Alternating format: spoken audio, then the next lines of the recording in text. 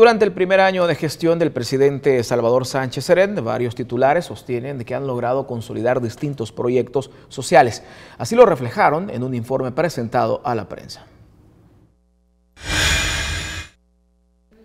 El Centro Oftalmológico Nacional en San Vicente y el Laboratorio de Cateterismo Cardíaco en San Miguel son solo algunas de las obras que hoy en día benefician a cientos de pacientes de escasos recursos.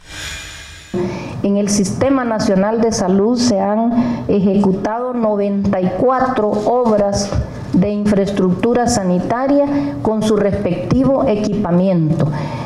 78 de estas obras de infraestructura y equipamiento del Ministerio de Salud llegaron a los 14 departamentos del país.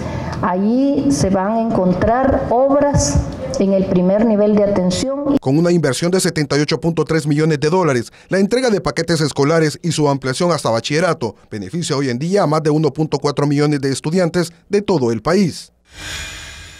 Vamos a trabajar también en la construcción de un grupo de, maestros para el tema de educación inicial, que es un tema muy, muy importante. El año 2000, en el último año hemos atendido una población de 20 mil niños entre 0 eh, y 3 años y nosotros queremos expandir ese servicio porque nos parece estratégico para el futuro del país. La entrega de más de 2.500 viviendas y el otorgamiento de créditos por más de 120 millones de dólares han permitido que la población obtenga su casa.